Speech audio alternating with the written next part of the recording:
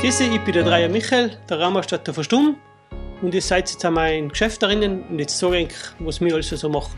Bei dem Betrieb habe ich da gelernt. Und nachher habe ich das eigentlich, wie oft ausgelernt habe, das übernommen, weil da mein Chef eigentlich in Pension gegangen ist. Übernommen habe ich 99, ja. also über 20 Jahre eigentlich. Ja. Alles, was für innen, für einen Raum innen brauchst, vom Bodenumgriff, Vorhänge, Polsterungen, Sonnenschutz, ja, eigentlich alles, muss ich sagen. Und, und bei den es eigentlich auch gleich. Wir verlegen wahrscheinlich Vinylbein, Parkettbein, PVC, Tapezieren auch wieder viel kommen. Mal interessant, wie der Tag schon gedacht. Materialien haben wir viele verschiedene her. Und so viel Auswahl, dass die Leute gar nicht mehr wissen, was sie will. Früher war das jetzt nicht so, wo die Kollektionen eher weniger. Und jetzt ist es so umfangreich geworden. Ändert sich auch wieder was, ne? Also nicht immer das Gleiche. Wie eigentlich die Mode, sage ich mal, ne? Das ändert sich auch wieder. Neue Sachen dazu, etwas fällt weg. Ich muss sagen, das ist abwechslungsreich, weil wir haben nicht ständig in der Werkstatt nicht ständig Pompon legen.